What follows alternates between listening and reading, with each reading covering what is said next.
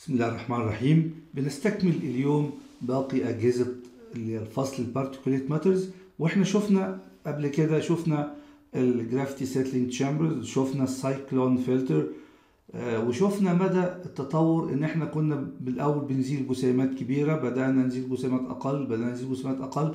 النهارده هنتكلم على جهاز جديد بالنسبة لنا وهو electrostatic precipitator filter وده جهاز من اسمه بيعتمد على ال electrostatic أو على جهاز يعتبر جهاز كهربائي الاجهزه الثانية كانت اجهزه ميكانيكية.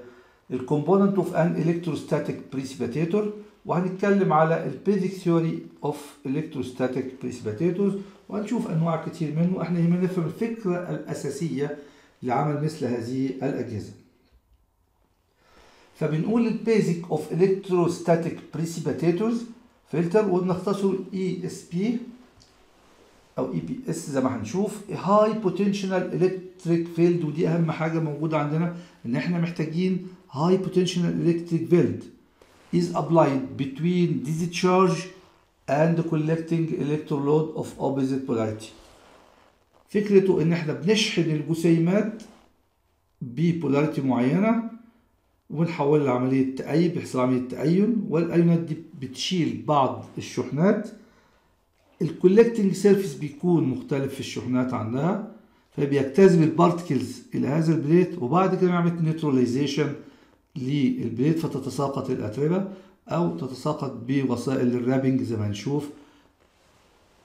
An electrical potential about 4000 فولت لكل سنتي از ابلايد طبعا ده مجال كهربائي عالي جدا وبالتالي هذا الجهاز بيكون مكلف جدا and electrical voltage gases molecules are ionized زي ما إحنا قلنا الايونز of same polarity as discharged electrode attract themselves to neutral dust particles which are then attracted to the collecting plate.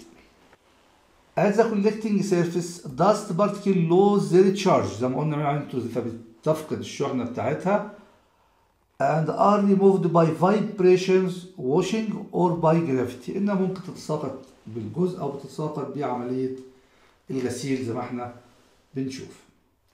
ESP have efficiencies ودي ميزه فيه 99% and the main parts زي ما هنشوف دلوقتي مكوناته في الأنواع نتكلم عليها يبقى ده مهم عندي جدا ال efficiency بتاعتي 99% كمان بيلتقط ال ultra fine اللي هي الجسيمات الدقيقة جدا The typical spacing between discharge electrode and collector's plate من 4 إلى 6 إنش.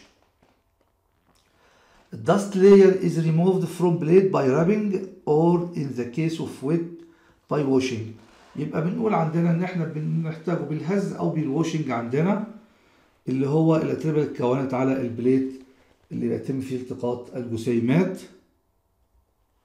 زي ما هنشوف ده بيتكلم على الفكرة الأساسية. عندنا ادى ال gas flow وده عندي ال discharge electrode وبعدين عندنا ادى ال collecting electrode فبيحدث عندنا إنه الجسيمات بتكتسب الهواء بيكتسب شحنة مخالفة للشحنة اللي موجودة على ال plate هنا بيلتقطها. وبعدين بنعمل عملية neutralizing لهذا الكلام فيتساقط الأتربة.